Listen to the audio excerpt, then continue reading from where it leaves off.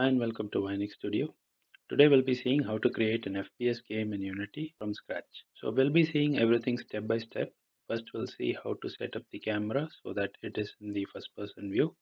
Then we'll see how to set up the gun, the crosshair, and then we'll see how to move the player. Then we'll also see how to use the mouse to make the player look around. And finally we'll be creating a shooting script for the gun to be able to fire and if it is an enemy we'll destroy the enemy. And if it is any other game object we'll just spawn bullet holes on it. For the purpose of this tutorial i've downloaded three assets. One is the low poly weapons light. The next is this industrial arena. Then the crosshair. All these three are free in unity Asset store. So i'll leave the link in the description. If you want to follow along you can download it. Apart from this i've created this bullet hole image using paint so this is something I've drawn myself. Then I've downloaded this gunshot sound from freesound.org. The link is there in the description. So if you want, you can download that too. So with all the materials ready, let's get started. So what we have here is just the camera in the arena. The first thing that we need to add is the player game object. So we'll create an empty game object, call it player. Then we'll add a capsule collider to it so let's zoom in on the player. So the capsule collider is now spherical in shape because there's no game object inside it. So let's increase the height to 2. So this looks like a player. So I'm just going to bring it down somewhere here. Uh, make sure the capsule collider is little bit above the ground because we'll be adding a rigid body to it and if it is already colliding with the ground when you start your game it will fall through the ground. So we don't want that to be happening. So let's go ahead and add a rigid body. Now on the head of the player should be your camera. So let's bring our camera. Let's just copy this component copy position and then let's go to the camera and then we'll say paste position. So now the camera is here but we want the camera to be a little bit higher something like this okay so that it's exactly where the head of the player would be. So we can even go a little more higher okay. So after that is done you can just drag the camera and make it as a child of the player. Uh, the reason we are making it a child of the player is because we want the camera to move along with the player. So this is how our game will look like from the eyes of the player. So the first thing that we need for any fps is the weapon. So let's go and add an empty game object we'll call this as weapon. Now once the weapon is added we'll just go to our low poly weapons light and we'll go into the prefabs and select this weapon and make it as a child of our weapon. So let's go to the scene view so that we'll be able to see how the weapon is pointing. So we also want the game view to adjust the weapon's position and the direction. So let's put the game view somewhere here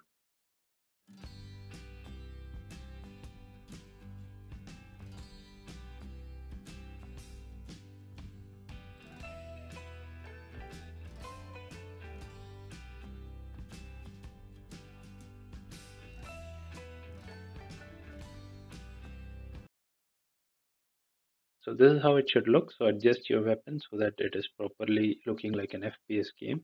So once that is done, the next part is adding a cursor. So for that we'll be using a UI. So go ahead and add a UI image. Let's call it cursor. Okay. Then make sure the anchor is at the center. So let's go to the scene view, select the UI, so the UI in the corner here but we want the UI to be at the center. So set the position to 0 in the X and 0 in the Y. Now the UI is in the center. Now the next thing we need to do is just select a cursor from the package that we downloaded. I'll assign this crosshair to the source image. Go to the game view. The cursor is white in color and it's bigger in size. So we'll set it to 50 cross 50 this seems to be okay but it is not visible because of the white color. So let's set it to something like red. Okay so now the cursor is fine. And uh, game view we are able to see the cursor properly. The gun is good. So this concludes the visual part of the game. So everything looks like an fps Next, we'll start moving the player.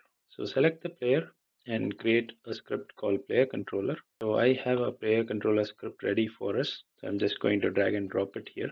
So this has the movement script. It has the mouse look script. It has the jump script and the shooting script. We'll go through them one by one. So let's open the script. So this script is available on Vionix Studio. The article link is there in the description. You can just go and copy this. But you'll learn more if you make it from scratch. So what we're doing here is we're just taking the rigid body component and the audio source component. And for the player moment, we have a function called player moment. Let's see what we do inside player moment. We are using two floats, x force and z force, because we'll be moving in the x and z axis. And we are taking the horizontal axis, that is the keyboard left and right arrows, multiplying that with the move speed and assigning it to the x force. Similarly, we are taking the vertical, that is the up and down arrows, multiplying that with the move speed, and then assigning that to the z force. Then we are taking the z force and multiplying that with the transform dot forward, which is basically the forward direction of a player. Then we'll take the transform dot right and multiply that with the x force. Now this part, we'll discuss about this part when we come to the jump script. So this will be enough to move the player so if you go back to Unity and now before we try to move the player, we don't want the player to basically tumble and fall because we are applying force. So we'll just make sure that the player does not rotate in the X and Z direction due to force. So now if we play the game, so the player is here and the player is able to move. So next comes the look script. So this is the look around script. We have a function called look around. It is called in the update look around. So what look around does is it takes the y-axis of the mouse and applies the rotation to the camera and not to the player. Because we don't want to make the player upside down we only want to rotate the uh, player in the y-axis. So the x-axis that is the player looking up and down is done by rotating the camera and not the player. We also need to make sure that the player is not able to turn the head upside down. So the rotation of the camera is clamped at minus 80 and plus 80 that is it will be able to go 80 degrees upward and 80 degrees downwards. So that is what these three statements do. That is we take the camera rotation. We we have a variable called camera rot it's a vector 3 and we take the initial rotation and assign it to the vector 3 camera rot then for the x-axis we add the mouse y movement that multiplied with our look speed.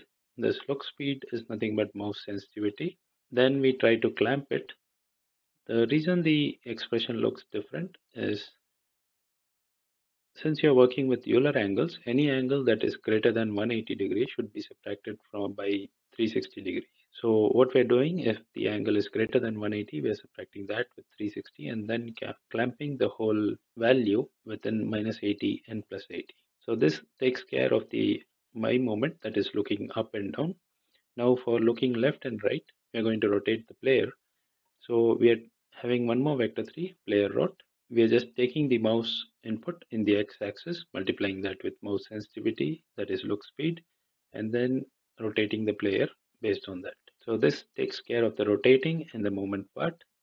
Next comes the jump part. Now we have a complete video on how to ground check using the box cast So you can check that video out if you have any questions. So what we're doing is we're going to Boxcast from the center of the player to the foot of the player and we're going to see if that collides with the ground. We have marked all the game objects that are basically ground as ground and we have created a layer called ground and we have marked all those game objects as ground. We're going to box cast and see if the box cast hits something called as a ground. If it does, then we are saying that the player is grounded, otherwise we'll make the player jump. So the jump script is inside the update itself. So we're just saying if ground check, that is the box Boxcast function. And if the player has pressed the space key, then we're going to add a force in the upward direction. Now this brings us to the player movement script where we were saying we had added a y velocity. So if you don't add this y velocity, we are basically setting the y velocity to zero using these two. So in order to negate these two, we're going to add this one this basically takes in the, the actual velocity of the player and assigns it to the player moment. So that way, when we add force, the player will be able to jump. Now if you want to increase the fall speed of the jump, you can increase the mass of the player or increase the gravity. So with that done, the player will also be able to jump. For a proper box casting, you will have to go and set up the box size. So we have an extra function here called on draw gizmos. So this will basically draw the box at the maximum distance, that is the distance up to which you're going to box cast. So we'll have to go back to Unity, then go to the scene view, find the player. So now you can see there is no box here. So since we have used the on draw gizmos function, if we set the box size to something like one, one, and one, so which is actually bigger than the player. So make sure the box size is smaller than the player. So we'll just reduce it by half. Okay, and then we want to box cast to the foot of the player. So you have to increase the max distance value for that. Let's say one. So now the box is actually colliding with the ground. So we'll be able to know when the player is basically grounded. So that takes care of the movement of the player completely. That is, we are able to move the player, we are able to look around, and we are able to jump. So this brings us to the shooting part. For the purpose of shooting, we'll not be using bullets because spawning bullets and destroying them actually produces a lot of garbage. So what we're going to do is we're going to raycast from the camera position in the forward direction. And if we hit a game object that is tagged as enemy, we'll destroy it. And if we don't, we hit any other game object, then we are going to spawn a prefab called bullet hole. Now for the bullet hole, what you can do is just add a plane. So you can see here, I've added a plane. To that, I've added a material and the material basically takes the image that I created in paint. I've assigned the image to albedo and set the rendering mode to cutout. So that creates my material here. And I've just used the Unity's default plane and assigned the material to it.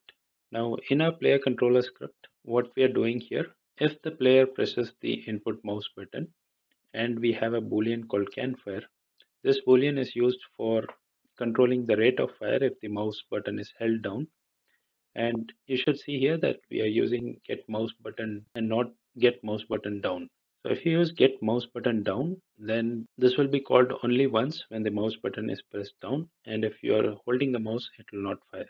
So when you're holding the mouse and if can fire is true, what it does is does a uh, raycast from the camera position in the forward direction for 300 units. And then it also plays the audio the canfire audio.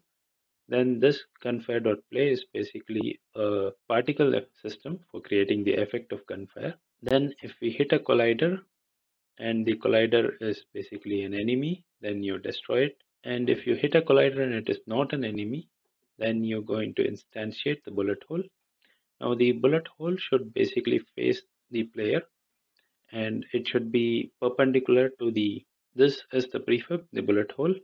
The hit dot point is the position where the raycast hit the collider. Then for the rotation, we're going to use quaternion dot from to rotation. That is, it will rotate the bullet from its up position to hit dot normal is the perpendicular direction for that.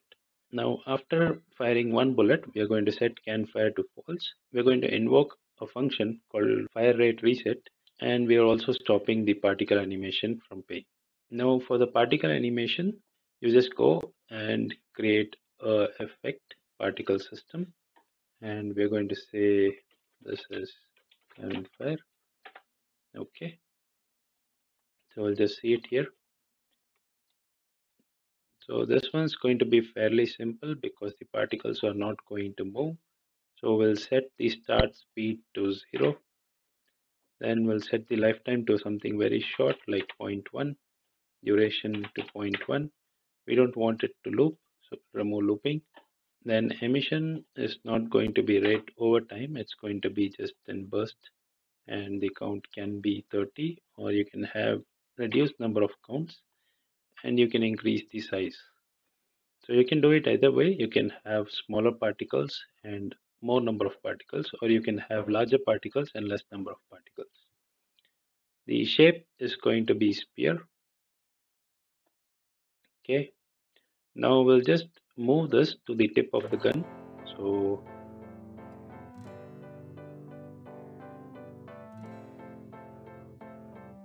okay. So that is the position. So you can see that the size is very big. So we'll reduce the radius of the shape.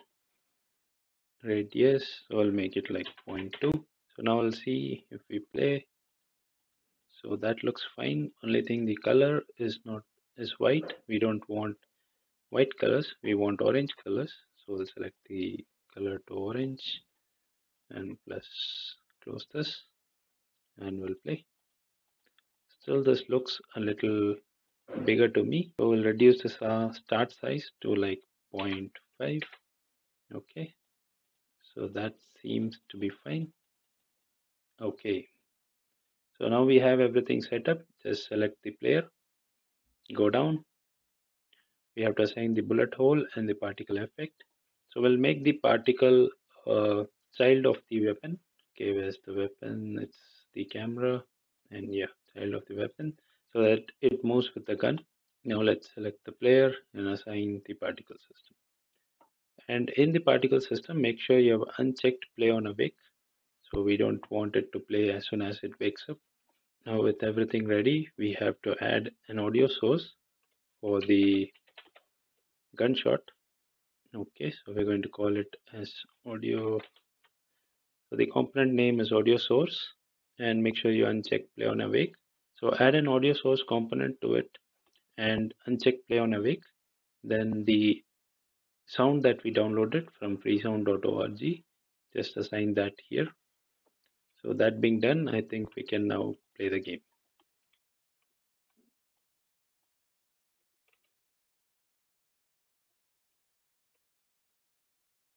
So you can see that now it is able to fire and the bullet holes are actually spawned. So it will be much more So if something like this happens, that is basically because the rigid body is rotating because of a force. So to solve this issue, make sure you enable all the constraints in the rigid body, rotation constraints, or you increase the angular drag. So since we are not going to use force to rotate the player, we are just using the quaternion, we can just freeze the rotation in all x, y, and z axis. So we'll move. Okay, the player is moving at a very slow pace. Start fire. Yeah, we're able to see bullet holes. Okay, yep, yep, yep. Then I had marked that container as enemy, so it was destroyed. Okay, so only thing the problem seems like we are not able to jump so most probably if you're not able to jump it is because the jump force is very less so you want to go to the player controller script and set the jump force to something larger like 300 so set the jump force and set the layer mask to ground. And now if you play the game now we are able to jump we are able to shoot we are able to turn we are able to move we have a good cursor. And I've set the container as enemy. So if I fire the enemy is destroyed and all the other game objects will basically spawn bullet holes. Okay.